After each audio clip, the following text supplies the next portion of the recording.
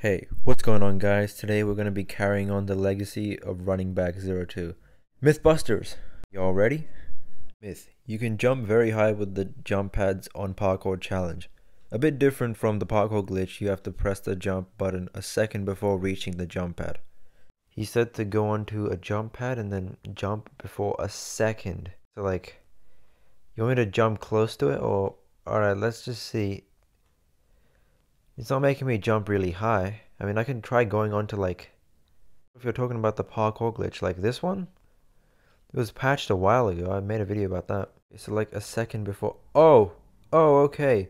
Yo, I was about to I was about to debunk this myth, but okay, this actually does work. Let's try this again, shall we? So it's like okay, so if you jump like very slightly before reaching the pad, then you can jump sky high. Let's get into the next myth. Myth. If someone wearing a custom skin like event skin and go to a window in White House, the player will disappear. So you worded that a, a bit weirdly. Alright, so I'm on to the window as I've got uh, event skin. So let's try and see if we can do this glitch or make myself disappear. So that just broke. It's not really doing anything. I'm not invisible. Like I don't disappear or anything like that. It's not seem to be working.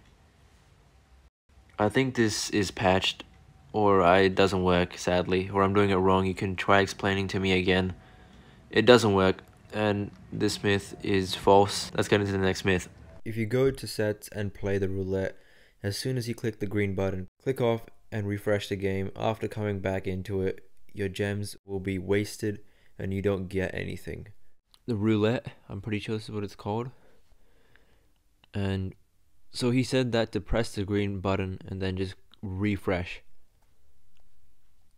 So is it like this? Back into the game again. Let's see if it does anything. And hang on. Oh, wait. 15 parts received, but I've got zero. That is confirmed. And whoa, PG bro, you gotta fix your game. So that myth is true. Let's get into the triple jump has been patched. Yes, I've heard about this. I couldn't make it sooner, but yeah, unlucky. Uh, that would have been a really cool myth, but it's been patched, so we'll get on to the next one.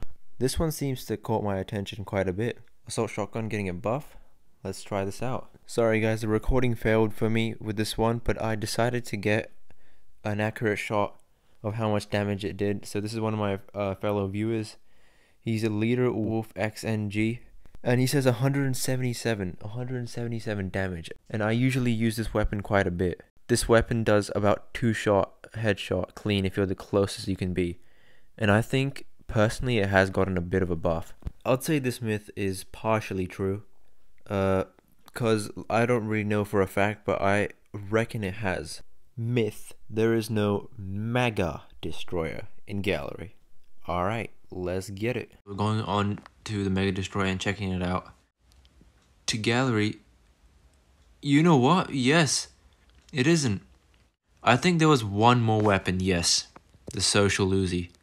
That ain't in the gallery as well. So it doesn't go on nor to the gallery and not to the polygon as well. So you can't, you don't actually use this weapon in something like this.